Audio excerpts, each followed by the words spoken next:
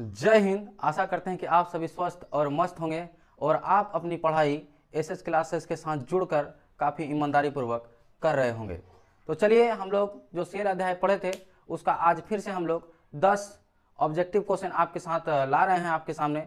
आप यदि कॉपी अपने नोटबुक को नहीं निकाले हैं तो अपना नोटबुक निकाल लीजिए और हाथों में कलम को पकड़ लीजिए और इसे नोट करते रहें। तो चलिए, हम लोग स्टार्ट करते हैं। आज के 10 मल्टीपल चॉइस क्वेश्चन जो आपके लिए काफ़ी लाभपूर्ण होगा, काफ़ी लाभदायक होगा। तो चलिए स्टार्ट करते हैं। देखिए, आज का सबसे प्यारा लाइन है कि हौसलों का ढाल बनाकर, हौसलों का ढाल बनाकर चुनौतियों से लड़ते जा। हौसलों का ढाल बनाकर चुनौतियों से लड़ते जा, मंजिल दूर नहीं मेरे दोस्त, मंजिल दूर नहीं मेरे दोस्त, शिक्षा से खुद को गढ़ते जा, शिक्षा से खुद को गढ़ते जा। तो चलिए, हम लोग स्टार्ट करते हैं। आज का पहला प्रश्न है कि साधारण मानव में गुणसूत्रों की संख्या कितनी होती है?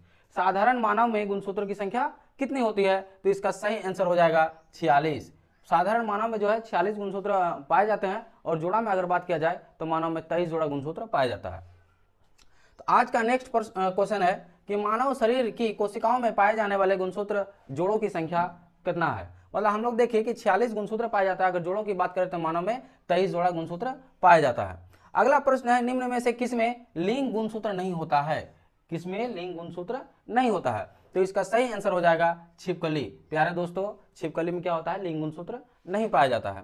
आगे देखते हैं हम लोग। अगला प्रश्न है कि पुरुष जीन संगठक है। मैंने पुरुष में जो जीन होता है, जीन संगठक जो अनुवांशिक गुणों को एक पीढ़ी से दूसरे पीढ़ी में स्थानांतरित करता है, उसका जो मुख्य संगठक क्या है? जो कि पुरुष में बताना है। तो पुरुष में हो जाएगा एक्स वाई। और अगर मेल की बात करें तो एक्स और एक्स। मेल में एक्स एक्स और पुरुष में एक्स वाई चलिए, अगला प्रश्न देखते हैं कि डीएनए बहुलक है। डीएनए किसका बहुलक है? जैसे कि हम लोग बताए थे कि न्यूक्लियस के अंदर जो है क्रोमोजोम पाया जाता है। और अगर क्रोमोजोम को अगर खींच के बाहर करें तो उसमें डीएनए रहता है। और डीएनए को अगर हम लोग आगे देखें तो उसमें धागे जैसी संरचनाएँ पाई जाती है, जो निक्लोटाइड्स का बना होता है। इसलिए इसका सही आंसर हो जाएगा कि डीएनए का बहुलक है निक्लोटाइड्स देखिए, अगला प्रश्न है, कुत्ते में गुणसूत्र की संख्या कितना होता है? जैसे कि हम लोग देखें मानव में तो मानव में छियालीस गुणसूत्र पाया जाता है, जोड़ा में तेईस। उसी तरह से अगर कुत्ते में बात करें तो गुणसूत्र की संख्या अठहत्तर होता है। कुत्ते में गुणसूत्र की संख्या अठहत्तर, अगर जोड़ा में बात करें तो उनचालीस होता है। चलिए, आगे देखते हैं हम लोग, अगला प्रश्न है कि आलू में गुणसूत्रों की संख्या कितना होता है?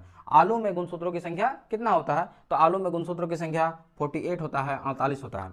जैसा अगला प्रश्न है कि जीवन की उत्पत्ति हुई है, जीवन की उत्पत्ति हुई है। तो जीवन की उत्पत्ति किससे हुई है? ये आपको बताना है तो इसका सही उत्तर हो जाएगा जल से। जीवन की उत्पत्ति किससे हुई है? जल से।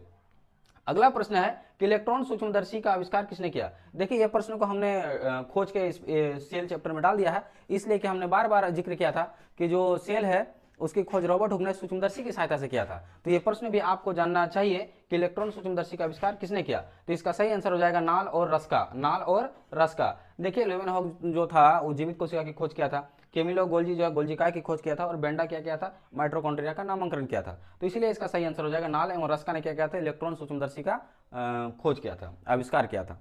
चलिए, अगला प्रश्न है फोर्टी नंबर अगला प्रश्न है कि A T P adenosine triphosphate A T P adenosine triphosphate एटिनो इसका हो जाएगा, ये क्या है? पूछा है कि एडिनोसिन ट्राईफास्फेट क्या है? तो इसका सही आंसर हो जाएगा ऊर्जा की इकाई, ऊर्जा की इकाई। जैसे एस एस क्लासेस ने आप सभी विद्यार्थियों से वादा किया है कि आपका एक भी प्रश्न एग्ज़ाम में हम छूटने नहीं देंगे तो आप हमारे साथ जुड़े रहें और आगे और भी हम लोग इसका ऑब्जेक्टिव प्रश्न करेंगे। आप इसी तरह से हमारे साथ जुड़े रहें और अपना प्यार और आशीर्वाद हमें देते रहें। और यदि आपको ये वीडियो पसंद आ रहा है तो आप कमेंट करके हमें ज़रूर बताइए। तब तक के लिए आप सभी को फिर से जय हिंद